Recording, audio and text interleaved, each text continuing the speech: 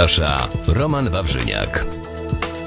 Mimo protestu kilkudziesięciu anarchistów na Jeżycach doszło do eksmisji niepełnosprawnej kobiety z mężem. Małżeństwo od lat nie płaciło czynszu za mieszkanie, które zajmowali. E, Teraz e, trafili do ośrodka pomocy społecznej w Chybach. Tam mają czekać na mieszkanie socjalne. E, Prawie dwugodzinnym słownym utarczką i przepychanką anarchistów z policjantami przyglądał się nasz reporter Szymon Kiepel. Przepychanki z policją, bębny i okrzyki. Tak od rana kilkudziesięciu anarchistów starało się zablokować eksmisję małżeństwa Jęczów z mieszkania przy ulicy Dąbrowskiego. Blokujemy eksmisję, która jest nielegalną eksmisją, ponieważ ze względu na stan zdrowia osoby eksmitowanej e, powinny być odłożone czynności komornicze. Powinno po prostu do niej w rzeczywistości nie, do, nie dojść. Natomiast miasto Poznań e, wynajęło sobie obstawę policji, która stoi tutaj od godziny 7 rano. Komornika, który wszedł do mieszkania Jęczów przed godziną ósmą, ochraniało kilkudziesięciu policjantów. Protest przyciągnął tłumy przychodniów. Wstyd mi za to, co się dzieje. No jestem w szoku. To jest skandal. Policja nie wpuszczała do budynku nikogo, kto ich zdaniem mógłby utrudnić eksmisję.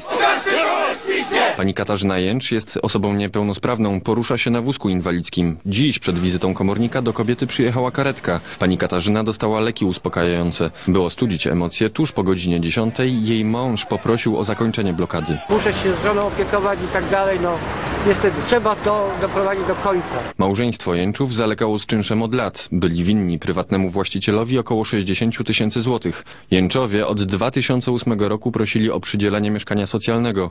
Bezskutecznie. Ponieważ zajmowali lokal bardzo duży, czyli nie spełniali tego kryterium mieszkaniowego, y, ponieważ ci Państwo złożyli już wniosek w ubiegłym tygodniu, tak, y, u nas o lokal socjalny, wiemy, że spełniają warunki dochodowe. W momencie, kiedy nabrali kategorii bezdomnego, spełniają warunki mieszkania y, socjalnego. Mieszkanie przyzna ZKZL na początku listopada. Do tego czasu Jęczowie będą w specjalnym ośrodku pomocy społecznej w Chybach, dokąd karetką zabrano panią Katarzynę. Rząd, pan z OKL-u, pan Pucek y, stwierdził, że nam się będzie przysługiwać lokal socjalny. Po zakończeniu blokady policja aresztowała kilku anarchistów.